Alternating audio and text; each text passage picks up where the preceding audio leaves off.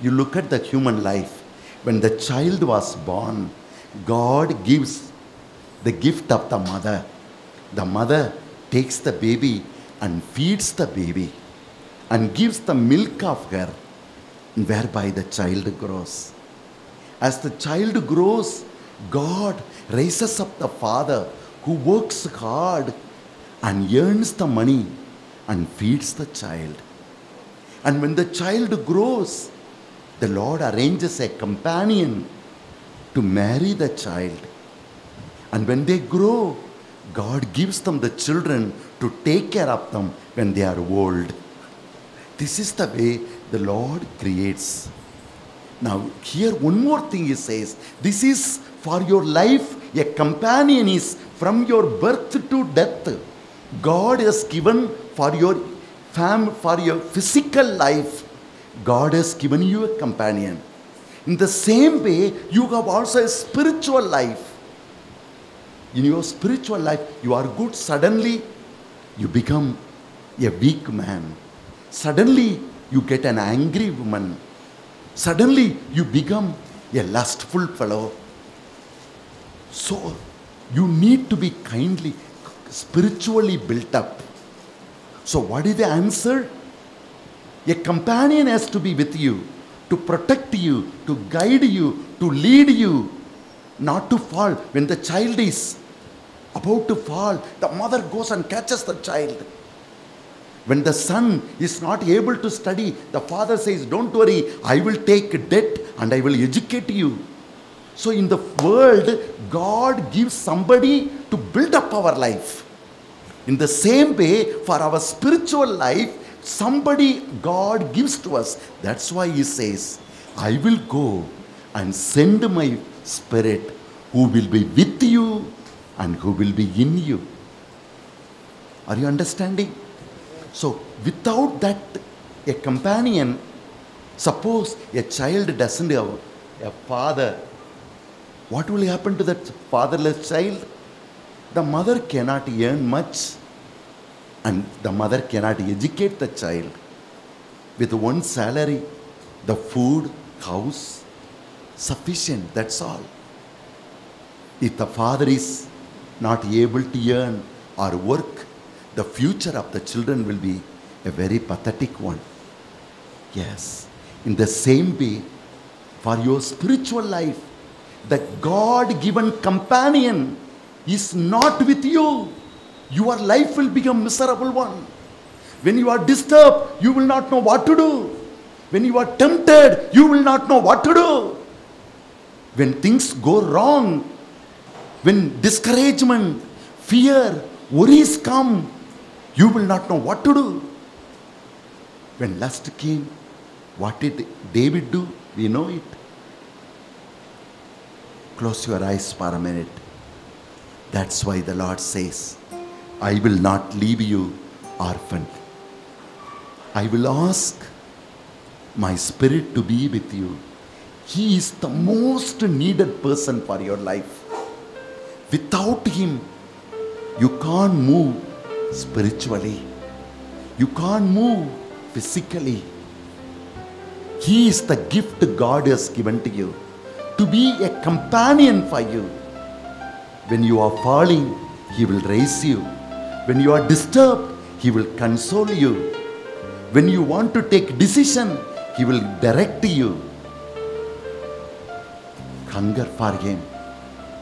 Without the Spirit, you can't live. So the Holy Spirit, He is a companion for my life on this earth. If my life has to be meaningful, if my life has to be worthwhile, He has to be with me. As you place your hands over your heart, can you make a little prayer? Holy Spirit of God, you are the gift of heaven. You are the gift of Jesus. Because Jesus lived on this earth, He knows the misery of man. He knows the struggle of every human beings. And with a physical world, we can't overcome all our problems. With the things that are available in the world, we can't handle all our situation. That's why you have sent a companion of the Spirit from heaven with a heavenly power. That's why your word said, You have not received a spirit of fear, but spirit of love.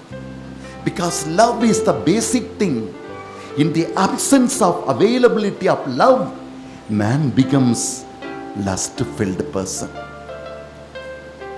I need love. And that love will be given to me by you, Lord. The strength. Everybody need courage and strength to live on this world. Everyone needs discipline. Everyone should direct one's thoughts. Everyone should direct each other. And the Holy Spirit does all this. To walk with the Holy Spirit, number one, you should know the truth. What is the truth? He is the companion. The Father, through Jesus, sends to all of us. And without Him, we can't handle our this complicated world, Satan guided world. Yes, we need the Holy Spirit. Second, if this Holy Spirit has to be your companion, John chapter 7, verse 37 says, If anyone who is thirsty, come to me, and I will give you the living water. And Jesus spoke about the Spirit whom he wants to give it to his disciples, the Bible says. So the second thing is, yesterday, so today morning, we reflected that that we need to thirst for the Holy Spirit. We need to hunger for the Holy Spirit.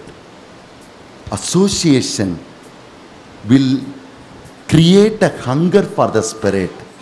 But the hunger for the Spirit, desperation for the Holy Spirit, will draw you close to the Holy Spirit. It is your desperation. Lord, I can't handle my life without you. I need you, Lord. I hunger for you, Lord. Whether I receive anything or not, I need you, Lord. Without you, I can't survive, Lord. If you hunger, it is your hunger, it is your desperation for the Spirit will draw him to you. Yes. Holy Spirit has each one of us. That's why He has blessed us. But you should have Him. He has you, but you should have Him.